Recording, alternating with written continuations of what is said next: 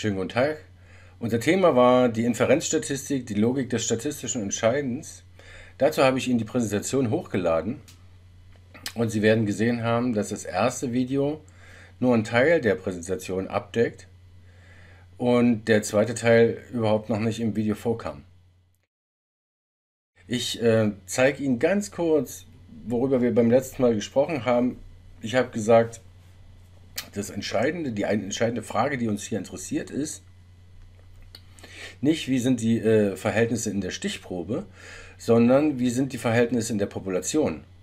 Und dafür brauchen wir die Inferenzstatistik. Wir bedienen uns dabei eines Konzepts, äh, das ist äh, das der Kennwerteverteilung. Das haben wir dann ähm, in diesen Simulationen, die Sie hier sehen und hier und hier ähm, sind wir das einzeln durchgegangen und haben dann gesehen, dass wir bei mehrmaliger Ziehung von Stichproben, das sind diese blauen, immer wieder einen Mittelwert erreichen, der aber immer leicht um den wahren Mittelwert äh, schwankt. Und wenn wir das 2, 4, 5, 1000 Mal machen, dann kriegen wir hier eine Verteilung. Der Mittelwert der Mittelwerte, wenn Sie so wollen, der nähert sich dann immer mehr dem wahren Wert an. Und diese Verteilung ist ähm, symmetrisch verteilt. Sie können auch sagen normal verteilt. Dann haben wir gesagt, okay, mit dieser theoretischen Überlegung können wir Folgendes machen. Wir können den sogenannten Standardfehler berechnen und äh, den Standardfehler des Mittelwerts, um, um exakt zu sein. Und mit diesem Standard, äh, Standard Error, so wird er abgekürzt, SE, Standardfehler des Mittelwerts, können wir das Konfidenzintervall berechnen.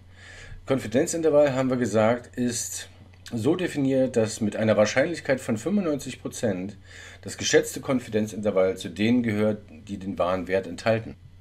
Als Faustregel habe ich dann gesagt, gut, äh, wie, wie können Sie dieses Konfidenzintervall ähm, berechnen? Und wir machen das so, indem wir zwei Standardfehler von unserem Mittelwert abziehen, dann haben wir die untere Grenze und wir schlagen zwei Standardfehler drauf auf den Mittelwert und dann haben wir die obere Grenze, obere Grenze des 95-prozentigen Konfidenzintervalls. Gut. Irgendwann war dann diese Vorlesung zu Ende. Was ist denn nun eigentlich Signifikanz? Äh, dazu jetzt also die neuen Folien. Ähm, über die meisten von denen werde ich hinweggehen, weil das nur in einer Vorlesung Sinn hat, äh, sie da langsam darauf vorzubereiten. So, da werden sie langsam warm. Äh, dann äh, wiederhole ich bestimmte Teile. Ähm, wir können jetzt gleich auf die Ergebnisse oder auf die Teile der, äh, der Präsentation kommen, äh, die sich möglicherweise nicht von alleine erklären. Nehmen Sie einfach mal ein bestimmtes, äh, eine bestimmte Studie, wo Sie mehrere Männer, 1, 2, 3, 4, fünf, ja, zehn wahrscheinlich, zehn Männer und zehn Frauen miteinander vergleiche, vergleichen.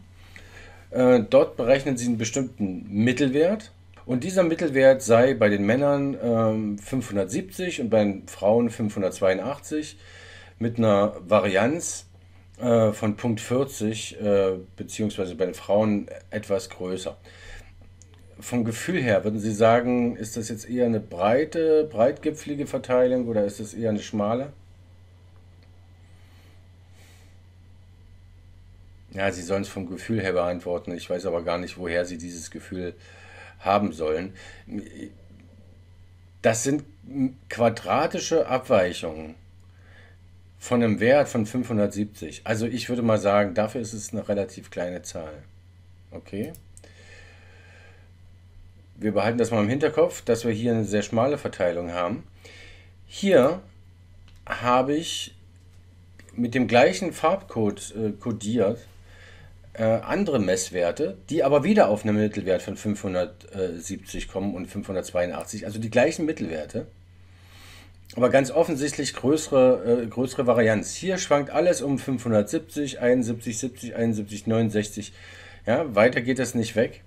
Und hier ist viel mehr Varianz drin. Ja, das geht hier von geht hier bis 602, von 560, also viel mehr Varianz. Die wird also größer sein, die Zahl hier. Und genau genommen ist es sehr viel größer, wie Sie sehen. Also die Varianz hier Punkt 40, hier Punkt äh, fast 400. Ja? Und dementsprechend sehen auch die beiden Graphen aus. Das ist der erste Fall und das ist der zweite Fall. Sie sehen aber, ignorieren Sie bitte einfach, dass die Striche nicht schön gemalt sind. Äh, die Striche zeigen aber genau das an, was ich zeigen will. Sie haben nämlich die gleiche Mittelwertsdifferenz. Ja, Sie haben in dem oberen Fall, der hier der linke ist, und in dem unteren Fall, der hier der rechte ist, die gleiche Mittelwertsdifferenz. Ja, von 570 bis 582. Sie haben aber komplett verschiedene Varianzen. Und jetzt stelle ich Ihnen die Frage, wo erwarten Sie, rein vom Gefühl her, ohne genau zu wissen, was Signifikanz ist, wo würden Sie denn sagen, glauben Sie eher, oh, äh, das ist hier ein signifikanter Unterschied? Wohlgemerkt, die, sind, die Mittelwerte sind, Mittelwertsunterschiede sind gleich. Würden Sie trotzdem sagen, ich glaube eher hier an den systematischen Unterschied oder ich glaube eher hier an den systematischen Unterschied? Denken Sie mal darüber nach. Was Sie, ähm, was Sie aber hier schon vom Gefühl, äh, Entschuldigung, äh, von der Grafik her gesehen haben, ist, äh, dass die Signifikanz ob, äh, offensichtlich von der Varianz abhängt. Sonst würde ich nicht so blöde fragen. Wenn Sie sich den, die, Fehl, äh, die Standardfehlerformel einmal angucken, dann sieht die so aus. Die Wurzel aus dem Bruch der Varianz geteilt durch äh, die Stichprobengröße. Ja? Das heißt, die Varianz geht hier ganz klar mit ein, und zwar im Zähler. Ähm, wir haben hier wieder eine Populationsverteilung. Dort gibt es einen wahren Mittelwert äh, der Verteilung. Diesen wahren Mittelwert μ, 2, μ ist gleich 2,75, den kennen wir nicht. Was wir nur kennen, ist folgendes. Wir ziehen aus dieser unbekannten Verteilung, aus unserer Population, eine Stichprobe, berechnen daraus den Mittelwert und der sei, weil wir jetzt in hohen Wert, äh, viele hohe Werte offenbar gezogen haben, das sei unser geschätzter Mittelwert, der hier oben drüber liegt, über dem ähm, geschätzten Mittelwert, den wir nicht kennen. Darum bilden wir ein Konfidenzintervall und in diesem Falle äh, wäre das Konfidenzintervall bei einem Mittelwert von 3,25 würde das gehen von 2 bis 4,5. Ja, ist also relativ groß und wir könnten sagen, vereinfacht gesagt, mit 95%iger Wahrscheinlichkeit ist der wahre Mittelwert hier drin, in diesem Konfidenzintervall.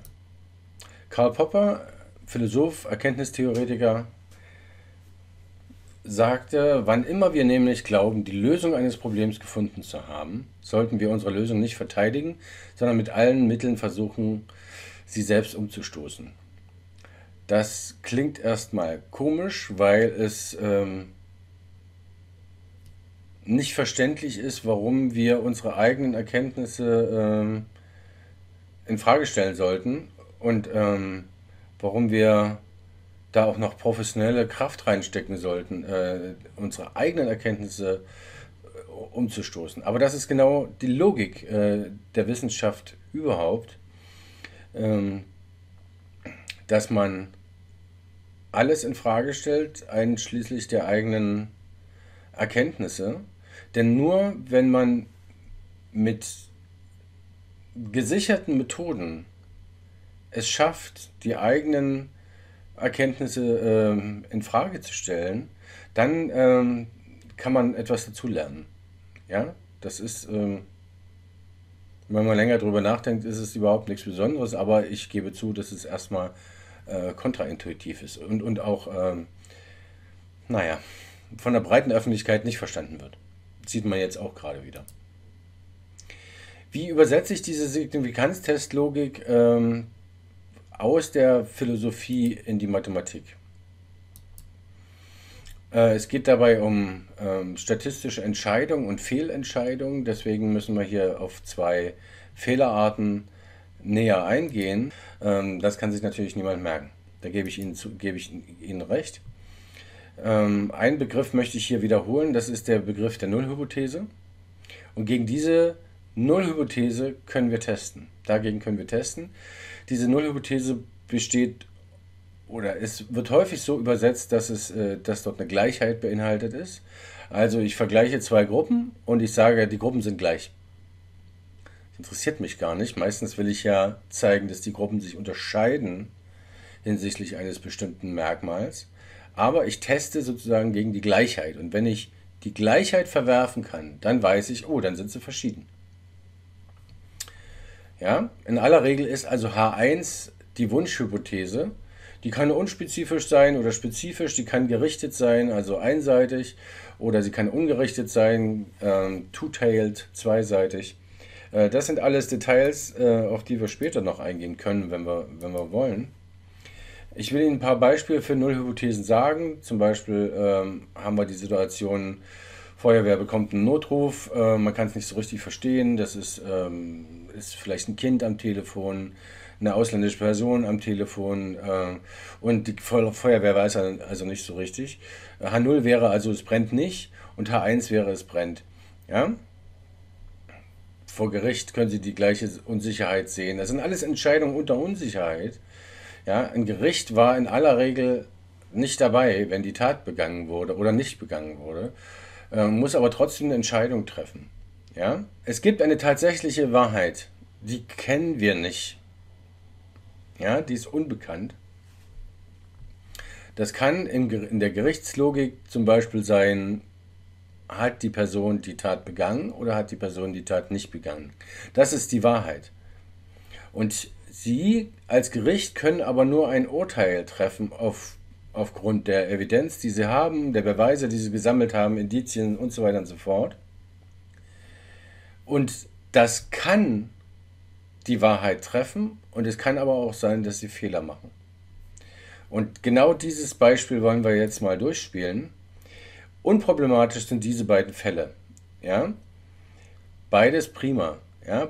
Es gibt zwei Arten von Fehlern den Alpha-Fehler und den Beta-Fehler und zu diesen Fehlern jeweils Gegenwahrscheinlichkeiten. Die Gegenwahrscheinlichkeit zum Alpha-Fehler 1 minus Alpha ist die Spezifität und die Gegenwahrscheinlichkeit zum Beta-Fehler 1 minus Beta ist die Teststärke oder die Power oder die Sensitivität. Das ist alles dasselbe. Und genau entlang dieser beiden Begriffe, die ganz offensichtlich ja medizinischer Art sind, äh, äh, epidemiologischer Art, äh, die ähm, wollen wir jetzt mal an einem Beispiel uns näher anschauen. Manch einen hilft dieses, äh, dieses Meme. Ähm, ich bin mir nicht sicher, ob das an der Stelle äh, ähm, schon zielführend ist, aber später äh, können Sie sich das vielleicht als Eselsbrücke einfach behalten. Und wenn Sie sich das nicht merken können, dann kaufen Sie sich noch so ein T-Shirt, äh, da steht das auch nochmal schön drauf. Ich nehme jetzt hier Bezug auf, äh, auf ein Beispiel, was gerade in, in aller Munde ist, in, ja, im wahrsten Sinne des Wortes, in aller Mundhöhle ist. Ähm, das, äh, der Test auf das ähm, sogenannte Coronavirus. Wir haben also eine bestimmte Anzahl von Personen, seien es 1000, äh, die haben klinische Symptome, die aussehen wie Covid-19. Ja, trockener Husten, Fieber. Dieser Test, der ist übrigens nicht zu verwechseln mit einem Antikörpertest oder so, den man, äh, den man flächendeckend machen würde, sondern das ist also ein verdachtsabhängiger Test, äh, der auch eine sehr hohe Sicherheit aufweist. Sie testen die Personen ein Teil davon wird negativ getestet. Und jetzt kann es sein, dass äh, diese Person also negativ getestet ist und trotzdem die Krankheit hat. Die sind also falsch negativ. Okay? Sie haben zwei wünschenswerte Situationen, nämlich die Person wird negativ getestet und bleibt auch gesund. Ja, das ist gesund.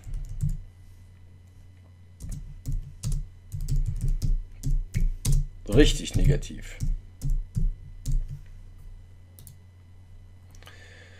Sie haben aus der Testlogik einen zweiten günstigen Fall, nämlich die Person wird positiv getestet. Ja, es werden also Virus, es wird ein Virus gefunden oder Virusgene. Ja, da haben wir schon einen Unsicherheitsfaktor im Übrigen drin. Das können nämlich auch Trümmer sein von äh, Viren, die längst abgestorben sind. Gut, okay, also positiv getestet und die Person bekommt auch die Krankheit. Die sind also krank. Und der Test war richtig positiv.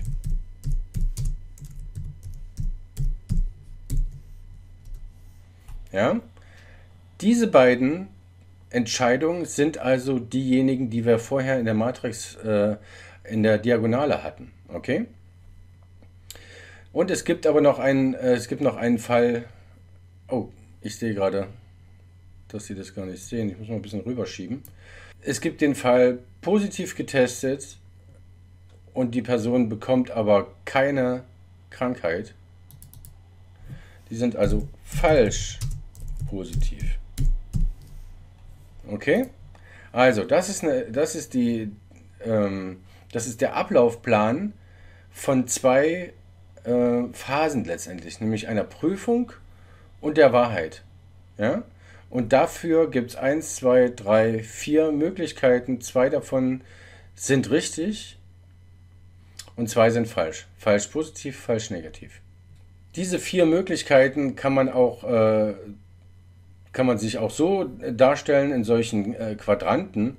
Wir haben ein bestimmtes Kriterium und einen Prädiktor. Der Prädiktor oder Vorhersagewert ist, sei der Test. Wenn Sie den Link verfolgen, kommen Sie auf diese Seite. Auf der Seite finden Sie unser Diagramm wieder. Auf der x-Achse des Diagramms haben Sie den Prädiktor, also den, den Test in unserem Falle. Und auf der y-Achse haben Sie die Krankheit tatsächlich. Okay. Der Test ist positiv oder ist negativ? Fangen wir an mit einem negativen Testergebnis. Test ist negativ, die Person ist nicht betroffen von der Krankheit. Dieser, äh, dieser, ähm, dieser Sektor, dieser Quadrant D ist problematisch, nicht problematisch? Das ist nicht problematisch, eine richtige Entscheidung. Ja? Dann ist natürlich auch A eine richtige Entscheidung, nämlich der Test ist auffällig, positiv, und die Person ist krank. Ja? Das ist also richtig positiv, richtig negativ. Und B und C sind jeweils unsere Fehlerarten. Äh, in dem Falle wäre der Test unauffällig, also negativ. Die Leute sind aber betroffen, C. Leute sind betroffen, sind krank, ist also false negative und das wäre false positive. Okay? Gut. Geben wir hier mal ein Beispiel ein. Ich habe gesagt, wir gehen von 1000 Leuten aus, die getestet werden. Jetzt machen wir es mal der Einfachheit halber so, dass bei dem Test 900 Leute, auf, äh, 900 Leute positiv getestet werden. Ja? Jetzt müssen wir uns erstmal angucken, wo ist denn überhaupt ähm, der Prädiktor, der positiv ist. Aha. Positiv sind, ist diese Spalte. Korrekt positiv getestet werden 890 Personen. Insgesamt positiv getestet werden 900 Personen. Davon sind also 890 korrekt positiv getestet und 10 Personen sind äh, positiv getestet, obwohl sie gar nicht krank sind. Okay? Hier sind noch 100 Personen übrig, die sind negativ getestet, wobei richtig negativ ähm, 95 äh, Personen getestet werden. Äh, und dann bleiben noch wie viel? Überschlagen Sie es mal schnell. 5, ne? Genau. Damit erreichen wir eine Sensitivität von Punkt 99 und eine Spezifität von Punkt 90. Nehmen wir jetzt mal äh, mein Beispiel. Wir haben einen Test, der hier durchgeführt wird. Von diesem Test äh, fallen, weil das ja alles Patienten sind, die klinisch so aussehen wie Covid-19, äh, fallen viele von den Tests auch positiv aus. Und zwar 900 Tests fallen positiv aus von 1000. Das heißt, wir haben hier ähm, 10 Personen, die falsch positiv getestet werden. Wenn das alle wären, im Übrigen eine Sensitivität von 1, ja, alle werden, alle werden erkannt, alle, die wirklich krank sind, werden erkannt. Äh, das ist aber noch nicht vollständig. Wir haben auch 100 Personen, die negativ getestet werden und von denen ist auch die Mehrzahl wieder tatsächlich auch nicht krank. Gut. Und was Sie jetzt sehen, ist, äh, sind hier bestimmte Werte. Sensitivität, äh, Spezifität, positiver und negativer Vorhersagewert und die Trefferrate, Trefferquote. Äh, die haben Sie ja alle mit angegeben und jeweils auch die Formeln dazu. Sensitivität ist nichts anderes als a geteilt durch a plus d. Ja? a ist diese Zelle, nämlich, was ist das? Das sind die Kranken, die, äh, die positiv getestet werden. Also die richtig positiven, geteilt durch alle Kranken. Ja? Wie hoch ist der Anteil der richtig positiv getesteten an allen Kranken? Das ist die Sensitivität. Das ist also ein Prädikt, äh, das ist aber also ein Parameter, der uns etwas sagt über die Erkennungsgenauigkeit der Kranken. Aber die Spezifität gibt es auch noch. Die Spezifität teilt C durch B plus C. C ist dieser, äh, dieser Fall. Das sind die negativ getesteten, die nicht krank werden. Negativ getesteten, die nicht krank werden. Also auch ein richtiger Fall, ähm, der sich aber eben auf die negativen bezieht. Ja? Und ähm, weiß nicht, ob Sie das jetzt an dieser äh, Stelle schon merken, äh, dass Sie nicht gleichzeitig beide äh, Kriterien maximieren können. Ähm, an dieser Stelle soll das erstmal genügen. Gut, ich fasse kurz zusammen, damit Sie überhaupt wissen, wo wir jetzt gerade waren. Äh, wir haben hier zwar ein konkretes Beispiel durchgerechnet, an einem Beispiel ähm, aus der Labordiagnostik, wir haben aber hier über etwas sehr Allgemeines gesprochen, nämlich darüber, dass wir eine unbekannte Wahrheit haben, der wir uns nähern wollen, mit einem Test. Test positiv und krank oder Test negativ und gesund. Prima. Ja, beides richtige Entscheidungen. Diese beiden Fälle sind Fehler. Diese beiden, die 5 und die 10. Und zwar bezeichnet die 5 die falsch negativen und die 10 bezeichnet die falsch positiven. Soweit, so gut. Kommen wir zurück zu PowerPoint. Ähm, und ich schließe das an der Stelle ab. Was bringt mir, diese konkreten äh, bringt mir dieses konkrete Beispiel für meine Fragestellung? Und da habe ich sie äh, ähm, ja gefragt, äh, dass sie mal selber oder gebeten, dass sie mal selber ähm, Hypothesen aufstellen sollen. Und da kamen ähm, ein paar Beispiele. Zum Beispiel äh, kamen Personen mit einer besseren Fähigkeit, die Perspektive anderer zu übernehmen, also mit Empathie. Die unterstützen mehr die Förderung, Forderung nach einem Rettungsschirm für Konzertveranstalter und Künstler. Ja? Oder Personen mit schweren Erkrankungen oder mit schweren Erkrankungen bei Bekannten haben besonders viel Angst vor Ansteckungen unter derzeitigen Situation. Ja? Das, ist, das folgt also immer der Logik, dass Sie zwei Gruppen haben, die Sie miteinander vergleichen und dass Sie ein bestimmtes Kriterium haben, was Sie zwischen den beiden vergleichen. Und hier schließt sich der Kreis, weil Sie ja die, äh, weil Sie ja die, die Aussage treffen wollen, die unterscheiden sich nicht nur in meiner Stichprobe, sondern die unterscheiden sich tatsächlich systematisch. Okay? Struktur ist immer dieselbe. Es gibt eine unbekannte Wahrheit, krank oder nicht krank, Unterschied in der Population da oder nicht da. Und es gibt einen Test, der zu dieser Entscheidung führt. Das ist der sogenannte Hypothesentest. Und dieser kann und wird fehlerhaft sein. Das haben wir jetzt auch festge äh, festgestellt. Ähm, er wird Fehler aufweisen, erster Art und zweiter Art. Und das Problem ist, dass ähm, nie, sie nicht gleichzeitig beide Fehler minimieren können. Ja? Sie minimieren den einen Fehler auf Kosten des anderen. Sie können nicht beides gleichzeitig maximieren, Sie können es nur in ein optimales äh, Gleichgewicht bringen. Ja? Das höchste Maß an Sicherheit geht einher mit Einschränkungen von Freiheiten. Ja? Das größte Maß an Freiheit führt dazu, dass man Sicherheit riskiert. Ja? Gut.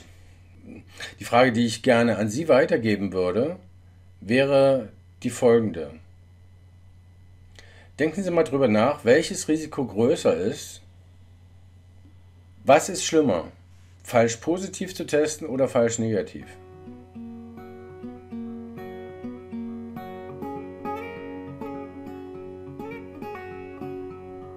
Und dann überlegen Sie sich, wie wäre das im Gericht? Und die dritte Frage, wie gehen wir üblicherweise in der Wissenschaft damit um? Wollen wir eher riskieren, dass wir falsch positive Aussagen treffen, positiv wiederum auf einen Unterschied bezogen, oder riskieren wir lieber falsch negative Aussagen, also Aussagen, die sagen, nee, hier ist kein Effekt, obwohl er eigentlich da ist. Okay? Diese Frage nehmen Sie sich mal mit zum Nachdenken. Okay. Schönen Feierabend.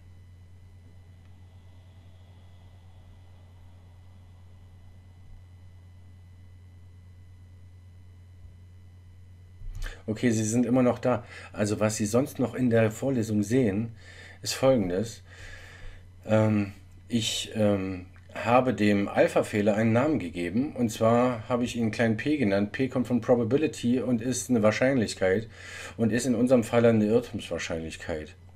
In, in jedem Statistikprogramm können Sie sich das angucken. Egal, was hier getestet wird, das kennen Sie alles noch nicht.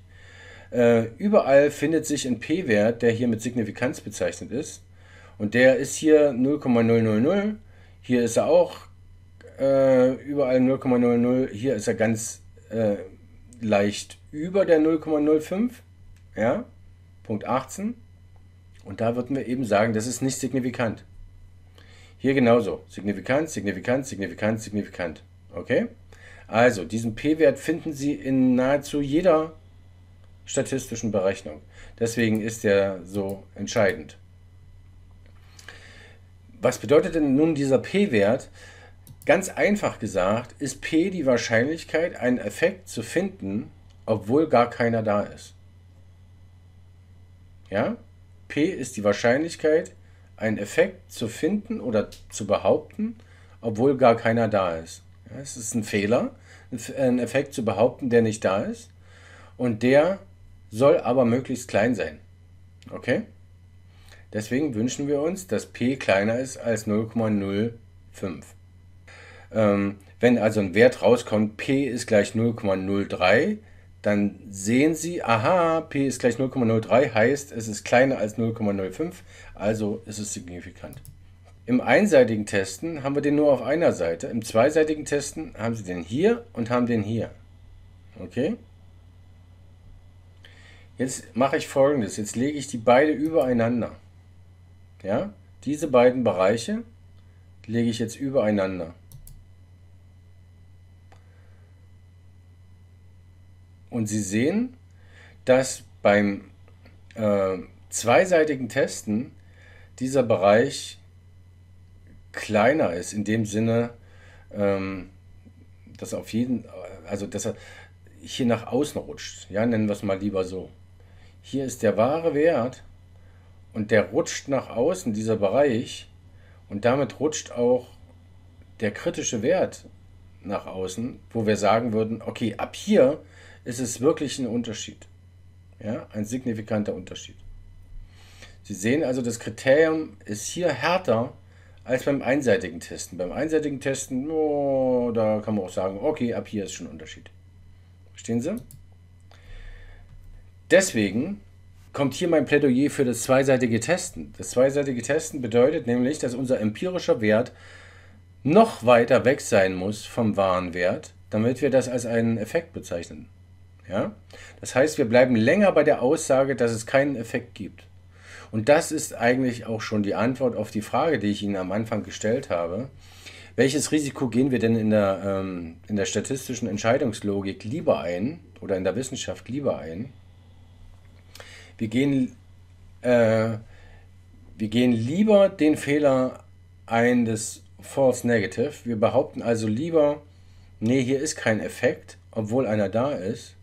Und wir wollen unbedingt den Fehler vermeiden des False Positive, nämlich der Behauptung, hier ist ein Effekt, obwohl gar keiner da ist. Wir sind also übervorsichtig oder konservativ. Ist die Irrtumswahrscheinlichkeit kleiner als meine vorher gesetzte Schranke, in unserem Fall 5%, dann kann ich H0 verwerfen und dann ist das Ergebnis auf dem 5% Niveau signifikant. So wäre unsere, ähm, so wäre unsere Schlussfolgerung.